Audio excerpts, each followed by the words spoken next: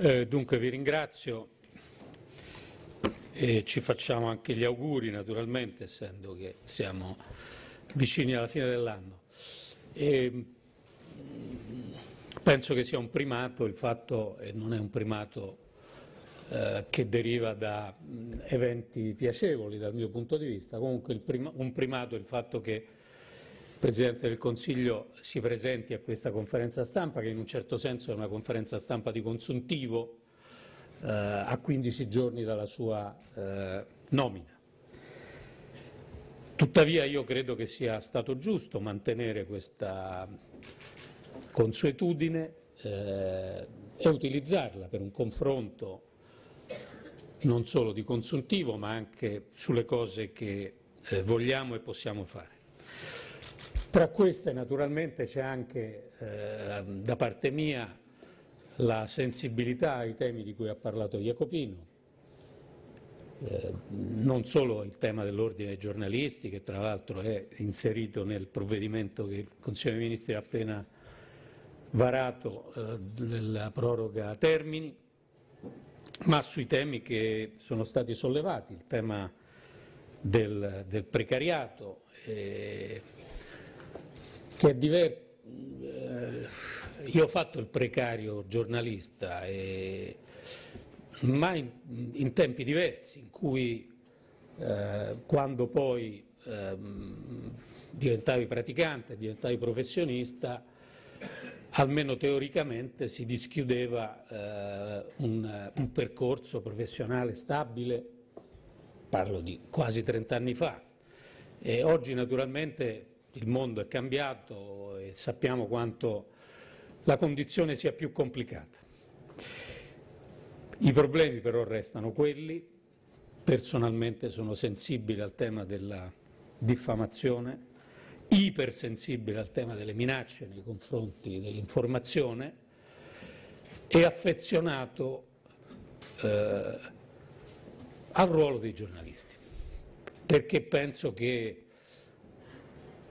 si parla molto oggi, fa molto di moda parlare di post-verità, no? nel mondo della post-verità, con tutti i suoi limiti, con tutte eh, le angosce che provocano spesso a chi ha responsabilità pubbliche, però eh, i mezzi di informazione seri, tradizionali, professionali, eh, ci impediscono l'assuefazione a questa post-verità che a me ricorda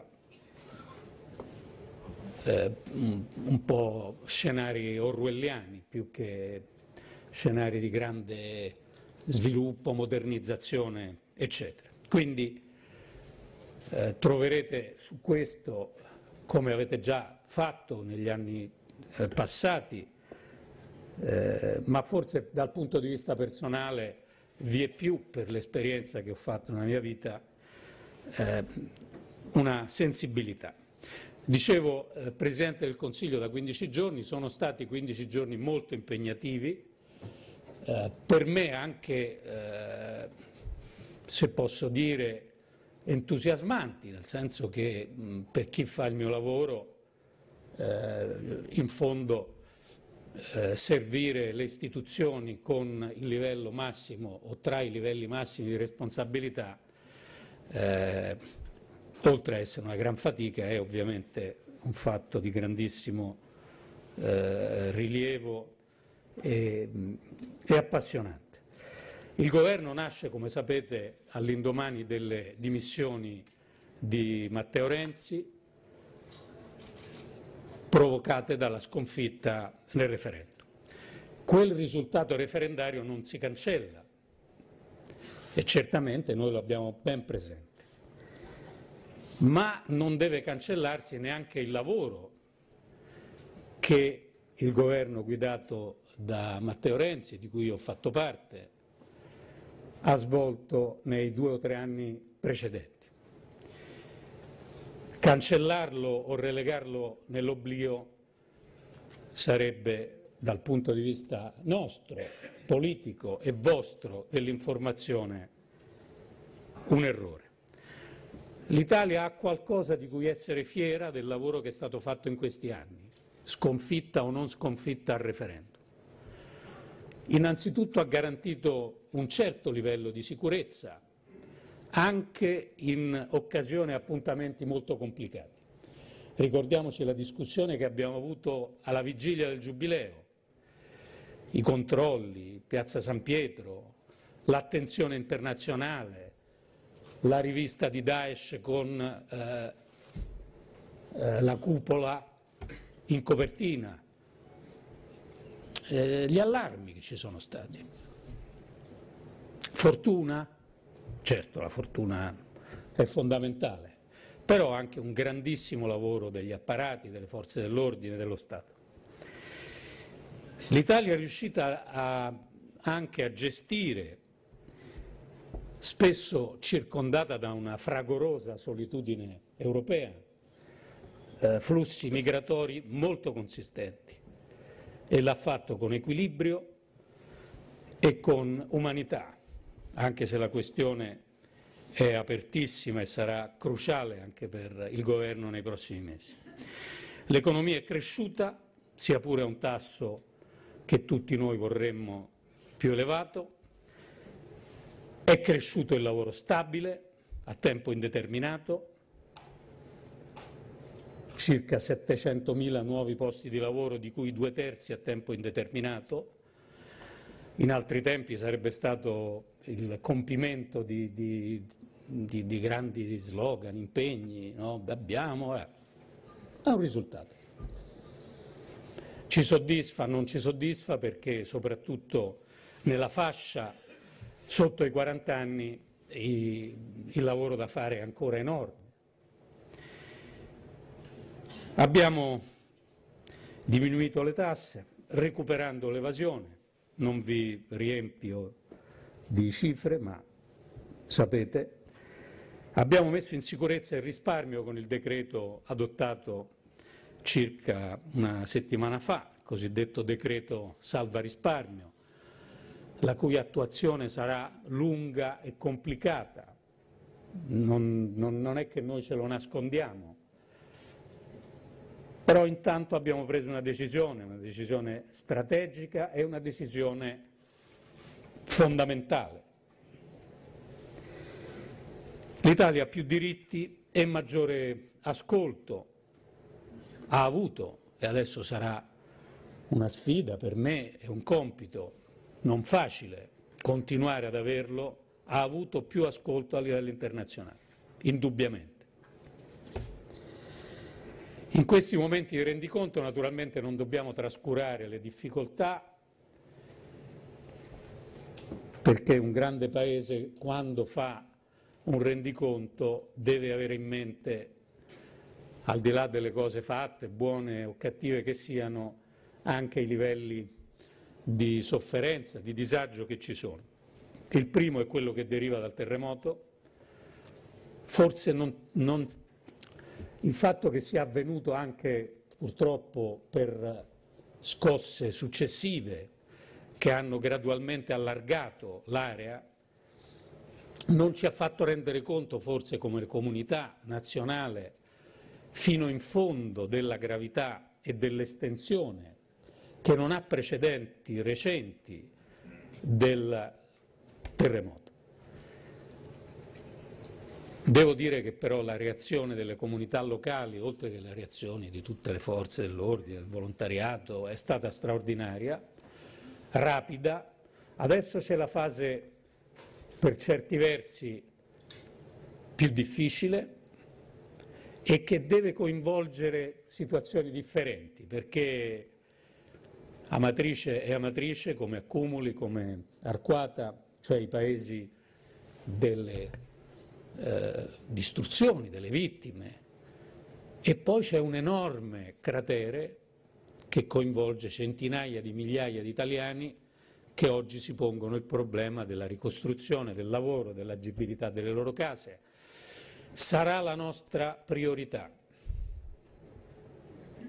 Così come in questi momenti non dobbiamo dimenticare le vittime che abbiamo avuto, ricordo da ultimo Fabrizia Di Lorenzo, ma attraverso di lei le tante vittime che abbiamo avuto attacchi terroristici, sequestri, forze dell'ordine colpite, disastri, incidenti, ai quali un paese civile non deve far mancare la memoria e ricordo naturalmente il disagio sociale che fa sentire perdenti ampi strati del, del ceto medio che sono in qualche modo si sentono un po' assediati da, da una specie di vortice di velocità eh, popolato da, da, privilegi inaccettabili che rende eh, una sensazione di, di sconfitta in alcuni di questi ceti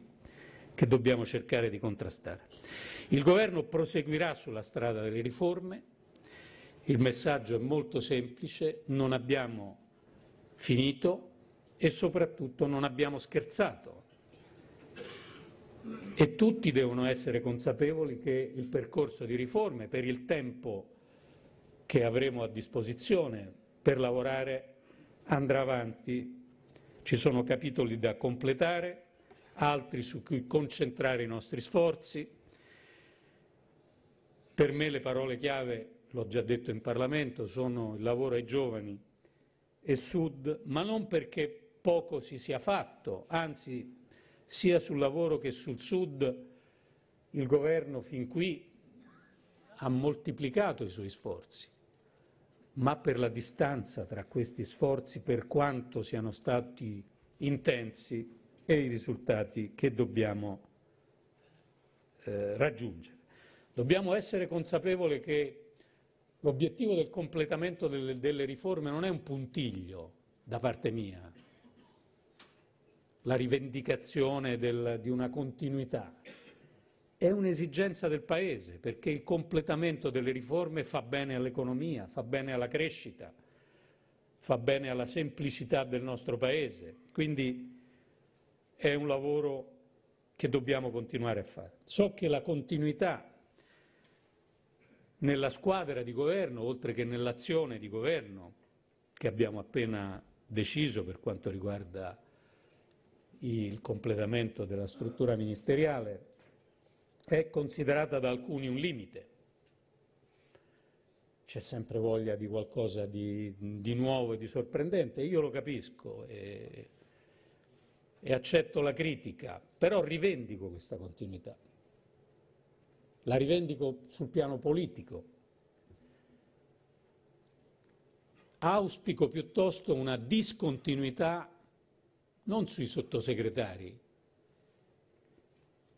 ma ad esempio sulla violenza inaudita che il confronto pubblico, in particolare in rete, ha avuto nel corso di questo 2016. E qui una discontinuità ci vorrebbe come? Auspico una discontinuità, se possibile, anche nella fecondità della dialettica parlamentare, che può crescere, può migliorare e il Governo cercherà di dare un contributo anche sul tema della, della legge elettorale. Abbiamo ripetuto spesso che il Governo cercherà come si dice in gergo, di facilitare, di accompagnare la discussione tra i partiti e in Parlamento sulla legge elettorale, aggiungo anche sollecitandola, perché la sollecitudine in questa discussione non è correlata alla maggiore o minore durata del governo, è un'esigenza del nostro sistema cioè il sistema democratico deve avere delle norme elettorali armoniose tra Camera e Senato in grado di funzionare. Poi la durata del governo viene decisa dal Parlamento, dalle maggioranze e tutti sappiamo come funziona la nostra Costituzione, ma avere con sollecitudine un meccanismo di regole elettorali non è un interesse dei di chi vuole accorciare o allungare la legislatura è un interesse delle nostre istituzioni. E per questo il Governo accompagnerà sollecitando, se volete, eh, questo percorso, perché lo riteniamo importante. Da ultimo, l'anno che eh, sta arrivando sarà un anno importante e impegnativo per l'Italia a livello internazionale. Da eh, domenica, immagino da lunedì, eh, l'Italia entra nel Consiglio di sicurezza delle Nazioni Unite, assume la presidenza eh, di turno del G7, a marzo avremo a Roma la celebrazione del sessantesimo dei trattati di Roma, quelli che hanno dato vita all'Unione Europea. Che Italia sarà questa proiettata in questi impegni internazionali rilevanti? Sarà per certi versi l'Italia che conosciamo. Io nel lavoro che ho fatto precedentemente ho ripetuto spesso che noi non abbiamo molti pulpiti in giro che ci possano fare prediche almeno dal dopoguerra oggi, circa la coerenza della nostra politica estera. Prima forse qualche discorso diverso si può fare, ma lo lasciamo agli storici. Ma negli ultimi 60-70 anni, tra i grandi paesi europei, se c'è un paese che ha avuto chiari i binari dell'europeismo e dell'Alleanza Atlantica, questo paese è l'Italia. E accettiamo paragoni con chiunque da questo punto di vista. Quindi sarà questa l'Italia che si presenterà, cercando tuttavia al tempo stesso di usare la presidenza del G7 per almeno due obiettivi. Primo, la centralità del Mediterraneo. Mare Nostrum non può diventare mare nullius, cioè il mare di nessuno, nessuno se ne occupa, il luogo della riluttanza dell'Occidente. Non ce lo possiamo permettere. E secondo, cercare di usare la presidenza del G7 per contribuire a relazioni diverse con la Russia. L'Italia può svolgere un ruolo da questo punto di vista. Non si tratta di rinunciare ai principi, si tratta di togliere, se ci sono, idee di ritorno a logiche, a cornici ideologiche tipiche della guerra fredda che non hanno nessun senso nella situazione attuale. In conclusione, il governo, l'unica cosa che posso dire nell'anno che verrà, farà del suo meglio.